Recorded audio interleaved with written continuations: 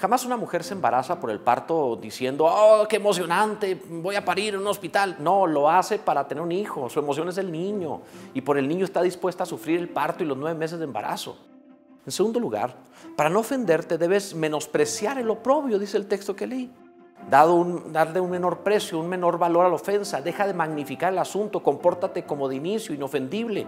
Lo que hoy te parece terrible, con el paso del tiempo te vas a dar cuenta que no era para tanto. Te pongo un ejemplo.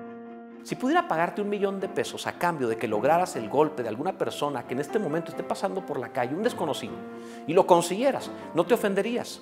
Ese golpe, por el contrario, te, vas a tener alegría de recibirlo. Pero si un desconocido te golpease solo porque sí, entonces te molestarías y lo más probable es que se lo devolverías. No te ofende el golpe, sino el precio, el valor que le diste a ese golpe. No te estoy diciendo que no pongas atención o que no le des importancia a las palabras de acción de tu cónyuge es muy valioso. Lo que estoy diciendo es que no le des un valor demasiado importante para mal, es decir, no le des valor para ofenderte.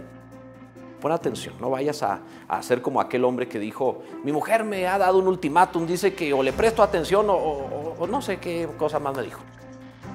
En tercer lugar, para ser inofendible, no seas tan delicado. Cierta vez, mientras Jesús predicaba, la gente comenzó a irse y algunos se sintieron afrentados por lo que decía.